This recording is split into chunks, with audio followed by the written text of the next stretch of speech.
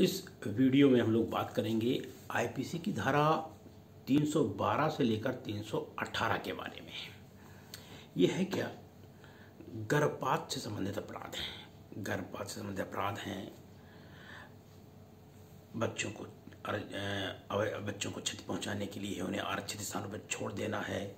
गुप्त रूप से बयान मतलब जो छोटे बच्चे पैदा हुए उन्हें कहीं दफनाफना देना है। इनसे संबंधित अपराधों के बारे में ये धाराएँ हैं। अब 312 कहती क्या है? कोई भी स्त्री, कोई कोई भी स्त्री स्वेच्छा से गर्भपात कराएगी। कब? जब उसका जान बचाना आवश्यक हो, तब को छोड़कर। यदि उसका जान बचाना है तो आवश्यक है, जान बचाना नहीं है और वो गर्भपात कराती है तो सजा मिलेगी उसको तीन साल। और यदि उस स्त्री ने जो गर्भ में बच्चा है, चौथा महीना या पांचवा महीना शुरू हो गया है। चौथा या पांचवा महीने शुरू होने से मतलब ये है कि उस गर्भ ने, गर्भ में जो बच्चा है, उसने स्पंदन करना शुरू कर दिया है। तो सजा मिलेगी सात साल। ये कहती है तीन सौ बारह। तीन सौ तेरह क्या कहती है? यदि किसी स्त्री की इच्छा के विरुद्ध गर्भपात कराया जाएगा, सजा दस साल। तीन सौ चौदह क्या कहती है?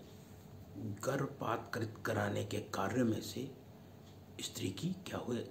गर्भपात कृत कराने में से स्त्री को क्षति पहुँच रही है। उसकी मृत्यु हो रही है। तो सजा दस साल से कम नहीं होगी, उसकी इच्छा के विरुद्ध है तो सजा आजीवन कारावास हो जाएगी। अब 315 क्या कहती है? बच्चे को गर्भस्थ बच्चे को होने से रोकना या बच्चा पैदा हो गया है, उसे मारना, सजा दस साल। 315 316 क्या कहती है?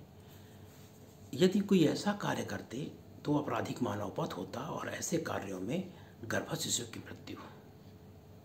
सजा दस साल।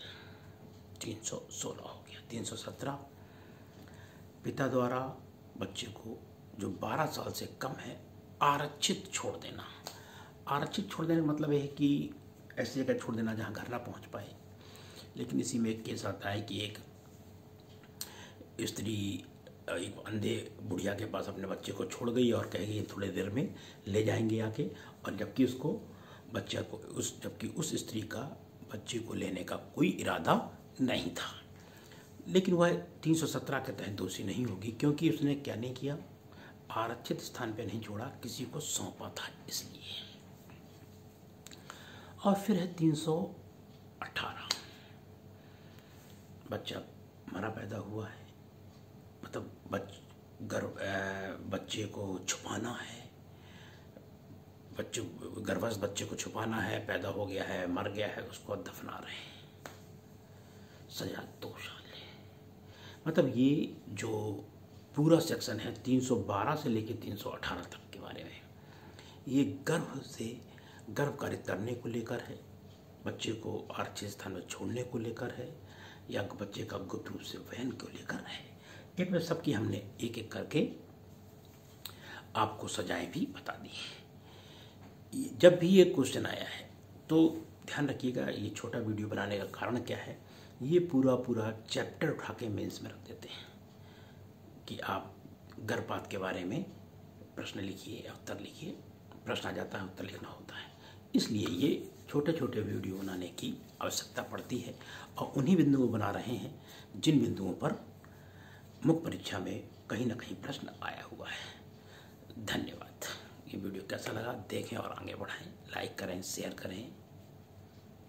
फिर से धन्यवाद।